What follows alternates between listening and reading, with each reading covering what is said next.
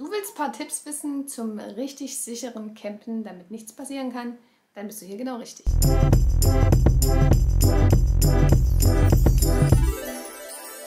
Willkommen zu diesem Video. Ich habe wieder ein paar Tipps zusammengetragen, um es beim Camping sicher zu haben, damit nichts passieren kann, im Rahmen der Möglichkeiten natürlich. Und äh, ich lege jetzt gleich mal los. Wenn ihr hier neu seid auf dem Kanal und noch nicht abonniert habt, dann macht es doch gerne. Es ist kostenlos und sobald ein neues Video kommt, was unter anderem viel ums Camping geht, dann habt ihr gleich immer äh, die Info parat und wenn ihr die Glocke aktiviert, dann auch eine kleine Pop-Up-Meldung, wenn ihr das möchtet. Und seid dann immer informiert, wenn ein neues Video kommt. Aber jetzt geht's los. Als erstes ist die richtige Kabeltrommel oder das richtige Kabel das Wichtige.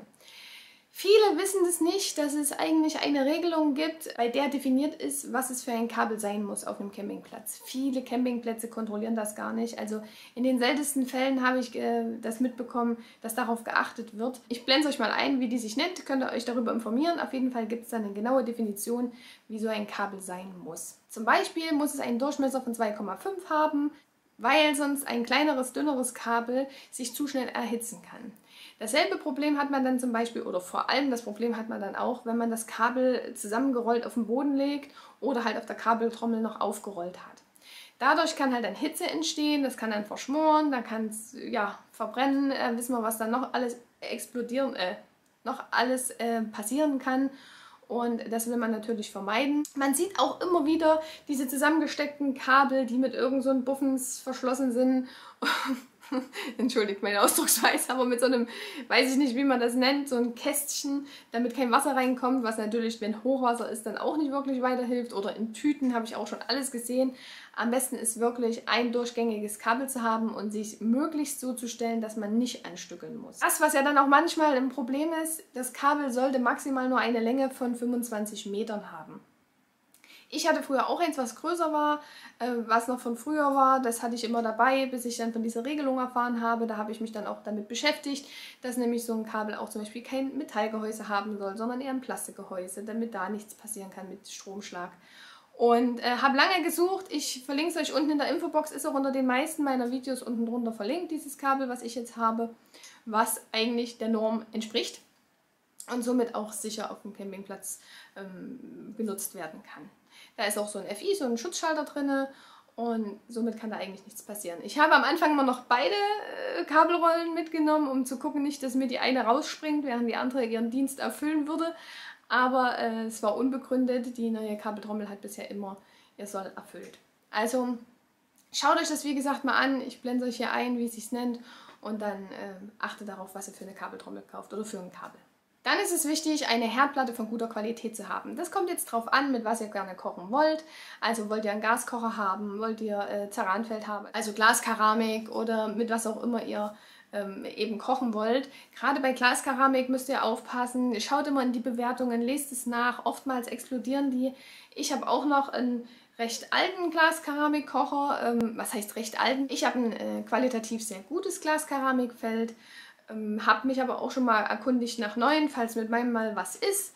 Und äh, da habe ich doch festgestellt, dass sehr, sehr viele Bewertungen eben negativ sind, dass die sehr schnell explodieren.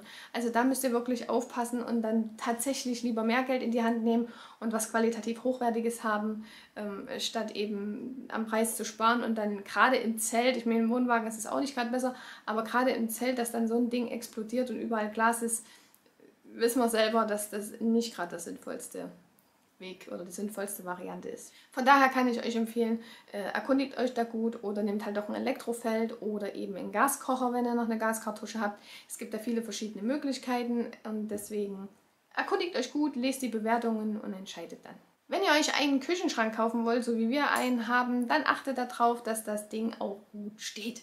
Wir hatten ja erst einen, das war eher so ein Kleiderschrank und der hat immer sehr gewackelt, was immer ein bisschen kritisch war. Der war nicht richtig stabil, hat nicht gut gestanden und hätte auch recht leicht zusammenklappen können. Wenn da dann der schwere Kocher draufsteht und mit einem heißen Topf voller Nudelwasser auf den Boden kippt, ähm, ja, ohne Worte, muss nicht sein, will man nicht haben. Und deswegen wäre es dann halt wichtig, dass ihr auf einen äh, Schrank achtet oder einen Küchenzeilenschrank achtet, der halt wirklich stabil ist. Wir haben ja dann unsere Campingküche gekauft, verlinke ich euch hier oben. Ähm, da seht ihr dann auch, dass sie von der Aufmachung her ganz anders ist. Die hat vier stabile Beine, die ist nochmal verstrebt, die hat nochmal richtige ähm, Winkel, die das richtig stabilisiert. Die steht richtig gut wie eine 1 und äh, da müsst ihr schon drauf achten. Auch, dass die Arbeitsplatte äh, nicht zu lavede ist. Also bei meiner ist es noch okay, aber weniger dürfte es auch nicht sein, damit es auch ein bisschen was aushält, wenn man halt schneidet oder was hackt, dass die nicht gleich irgendwie beim nächsten Moment durchbricht, rausbricht oder wie auch immer. Also, dass er da wirklich was Stabiles holt. Ich weiß, man will es immer nicht hören, man will auch immer Geld sparen. Ich bin da ja selber nicht anders, gebe ich ehrlich zu. Aber wenn man sich sowas anschafft, habe ich erfahrungsgemäß doch viel gelernt und gemerkt, dass wer billig kauft, kauft zweimal einfach wirklich ein, ein richtiger Spruch ist. Also dann lieber einmal richtig kaufen und mal ein bisschen mehr Geld ausgeben und was qualitativ Hochwertiges haben. Damit da eben gerade beim Kochen nichts passieren kann. Strom, Kochen sind so die wichtigsten Punkte, wo man drauf achten soll. Und was macht man natürlich nach dem Kochen? Man isst. Wo isst man? Am Tisch. Wir hatten anfangs noch so einen alten DDR-Tisch, der unten so gebogene Beine hatte. Und wenn der am Hang stand, dann kippelte der halt auch entsprechend so hin und her ähm, oder wenn man andersrum an Hang stand, stand er halt schräg. Also das war mal sehr schwierig, den auszurichten. Wir haben uns ja dann diesen Tisch hier gekauft. Da hat man vier individuell einstellbare Füße, was echt super ist, weil man, egal wie der Boden ist, diesen Tisch einfach Waage bekommt, ohne viel Tamtam. -Tam. Also selbst wenn man die Wasserwaage noch drauflegen will, dann macht es nach Gefühl. Ich mache es manchmal auch mit dem Glas, stelle ein Glas drauf. Ja, ähm, weil man da einfach wirklich die Beine so stellen kann, wie der Boden ist und dass da halt eben nichts passiert. Worauf ihr da noch achten könntet, ist, dass die Beine wirklich stabil sind.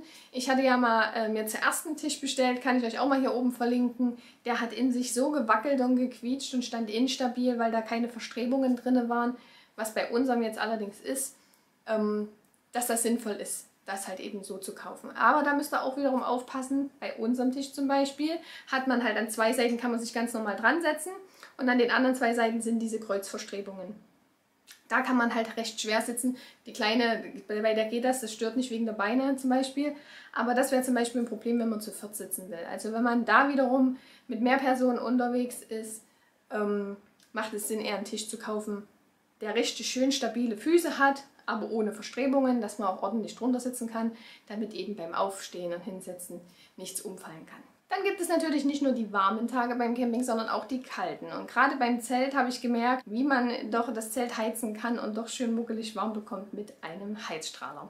Wir haben dazu so einen Elektroheizer genommen. Der hatte auch einen Kippschalter, das heißt, wenn der umgefallen ist, ist er automatisch ausgegangen. Man konnte den auch einstellen mit Thermostat, was auch sehr praktisch war, weil eine gewisse Grundwärme dann immer da war. Und wenn es halt zu warm war, hat er automatisch abgeschaltet. Beim Wohnwagen ist es natürlich dann wieder was anderes, weil da hat man ja die integrierte Heizung.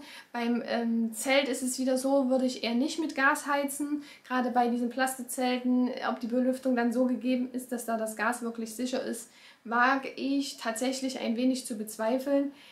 Ich würde es mir nicht getrauen. Wenn ihr da andere Erfahrungen habt, schreibt es gerne in die Kommentare. Da würde ich euch wirklich eher den Elektroheizer empfehlen und äh, vielleicht auch mit einer Zeitschaltuhr oder halt vor allem mit diesem Kippschalter, falls da was ist, das dann sofort das Gerät ausschaltet, damit nichts passieren kann. Große Gefahr sind auch Stolperfallen, wenn Kabel rumliegen, wenn irgendwelche Spielsachen oder andere Gegenstände im Weg rumliegen.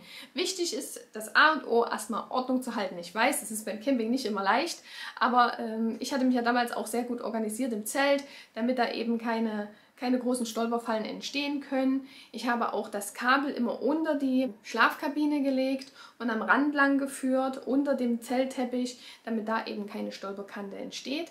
Das hat immer ganz gut geklappt. Ja, ich weiß, äh, es ist manchmal nicht leicht, äh, gerade bei Spielzeug oder mit kleinen Kindern, äh, dass man da keine Stolperfalle hat, aber gerade im, im Dunkeln auch oder abends sollte man doch schon aufpassen, dass dann so eine gewisse Grundordnung herrscht, damit da eben nichts passieren kann.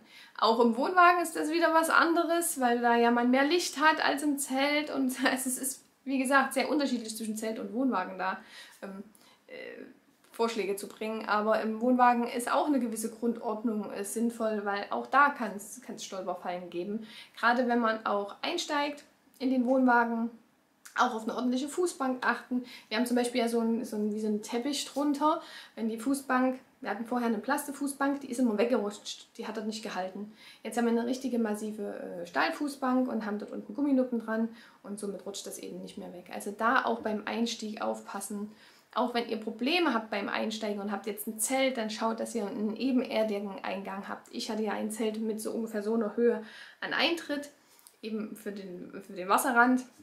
Aber wenn euch das zum Beispiel schwerfällt oder das bei euch nicht geht, ähm, dann schaut, dass ihr was habt, wo man da gibt es Reißverschlüsse, wo man das runterklappen kann, damit das ebenerdig ist. Gibt es auch. Müsst ihr mal schauen dann beim Zeltkauf. Gerade mit Kindern ist es das Idealste, im Zelt oder im Wohnwagen eine Spielecke einzurichten. Die Spielecke haben wir im Wohnwagen immer entweder auf dem Bett oder in einer Ecke von der Sitzecke. Das funktionierte bisher ganz gut. Im Zelt hatte ich immer ähm, meine Schränke ja auf solche Tische gestellt und unten drunter waren die Spielsachen und eine Ecke war frei.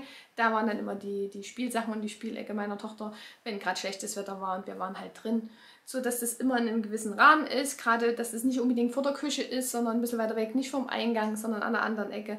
Also so hatte ich das immer aufgeteilt, dass man eben doch mal schnell rein und raus kann und dass gerade im Küchenkreis darum nichts passieren kann. Zur Sicherheit beim Camping gehört natürlich auch, dass man nicht krank wird. Also nicht nur die Unfallgefahr, sondern auch die Erkältungsgefahr.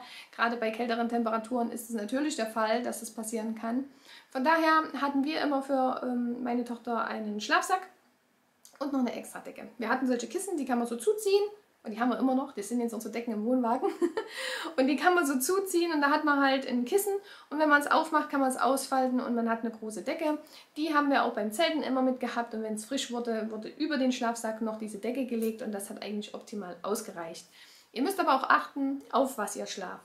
Wenn ihr auf einer Isomatte schlaft, die einen großen hohen R-Wert hat, also das heißt, die gut die Wärme, äh, äh, die Kälte isoliert und äh, Wärme bietet, dann ist das schon völlig in Ordnung. Wir hatten ein hohes Luftbett, wo die Luft innen drinnen natürlich kalt wurde, auch in der Nacht und somit auch der Rücken dann kalt wurde, das hat man gemerkt.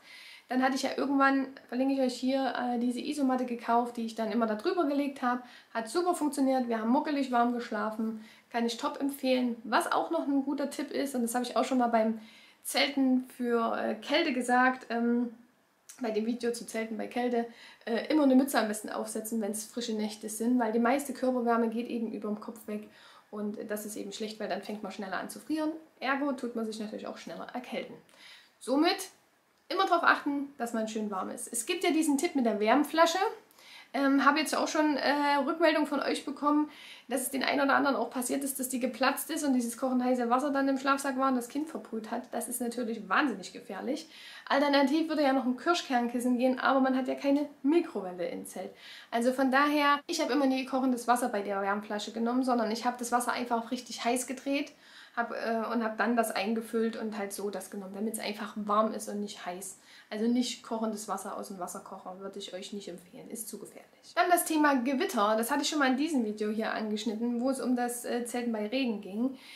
Ja, das ist auch so ein schwieriges Ding. Ähm, normalerweise und die sicherste Variante ist, einfach ins Auto zu gehen. Ich weiß, dass das aber nicht immer zwingend notwendig ist. Manchmal schläft man tief und das Gewitter kommt in der Nacht.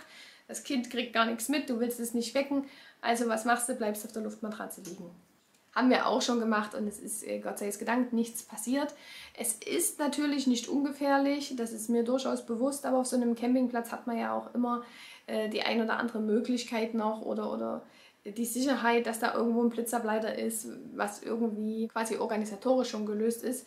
Alternativ, wie gesagt, entweder zusammenkauern, schön zusammen, dass man auch möglichst nicht viel Platz auf dem Boden wegnimmt oder geht einfach ins Auto. Beim Wohnwagen ist es jetzt wieder so eine Sache, da habe ich schon viel verschiedene Varianten gelesen. Die einen sagen, der Wohnwagen ist sicherer wie das Zelt, die anderen sagen, der Wohnwagen ist wie ein Backofen, viel schlimmer wie ein Zelt, weil es da eher einschlägt als im Wohnwagen, äh, als im Zelt.